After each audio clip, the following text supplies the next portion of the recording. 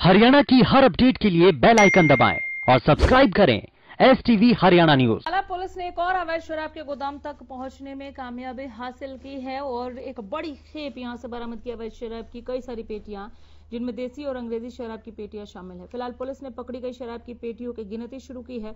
Excise विभाग भी मौके पर मौजूद है। पूरे मामले को लेकर डीएसपी कहते हैं कि गुप्त सूचना के आधार पर यह कार्रवाई की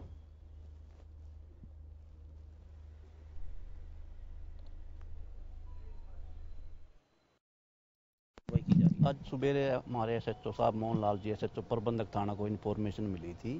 कि जो आए पार्क जो है इसमें अवैध शराब का गोदाम है अवैध शराब यहाँ पे है तो इस आधार पर हम यहाँ आए इन्होंने एक्साइज इंस्पेक्टर को बुलाया एक्साइज इंस्पेक्टर ने गोदाम को चेक करके बताया भी इस इलाके हमने कोई एल का गोदाम नहीं दिया और ये सारा इलीगल है तो हम इसकी काउंटिंग करा रहे हैं और